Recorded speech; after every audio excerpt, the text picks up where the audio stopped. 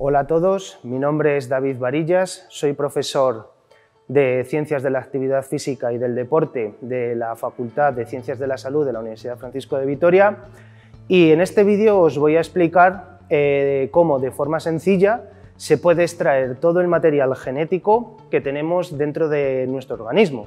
Eh, como bien sabéis, eh, llevamos a cabo dentro de esta facultad numerosos proyectos de investigación en el cual queremos estudiar la asociación de la genética o diversos genes implicados en el rendimiento deportivo y eh, para ello hemos tenido que reclutar a deportistas profesionales, deportistas de alto rendimiento y la toma de la genética es un paso muy sencillo, es un paso no invasivo y que requiere muy poquito tiempo por parte de la persona a la cual se le va a extraer.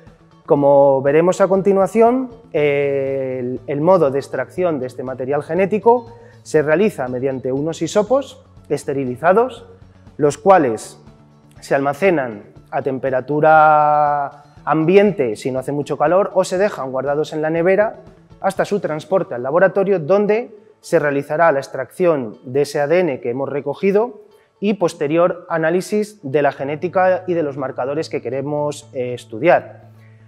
Este material genético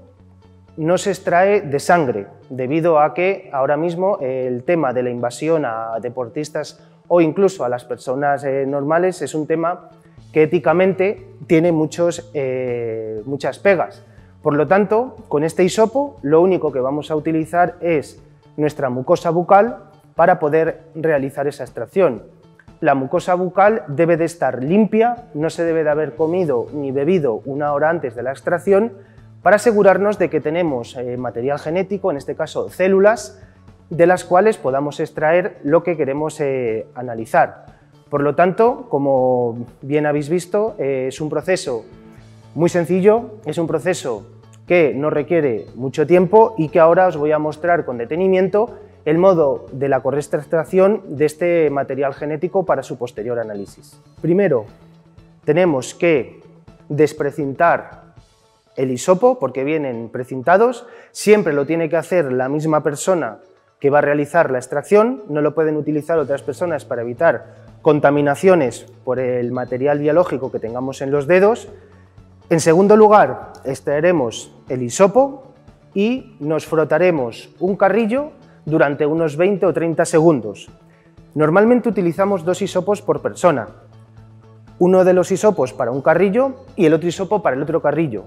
debido a que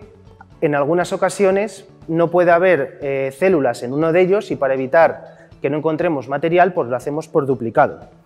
Y tercero, una vez frotado el carrillo durante esos 20-30 segundos, se procederá a cerrar el hisopo y ya quedará todo el material genético registrado en el mismo. Y por último, dejaremos eh, el hisopo marcado con el código de asignación que tenemos para cada sujeto en una nevera o eh, a temperatura ambiente hasta que el medio de transporte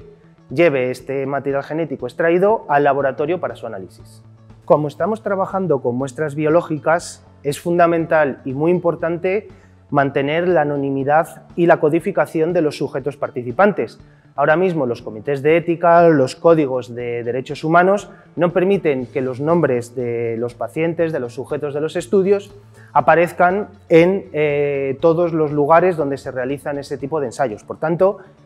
es eh, de suma importancia codificar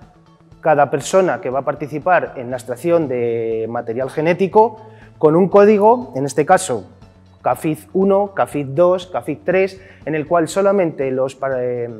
los participantes del proyecto, los investigadores, conozcan el nombre de ese sujeto y no se dé eh, público en ningún medio, ni artículos,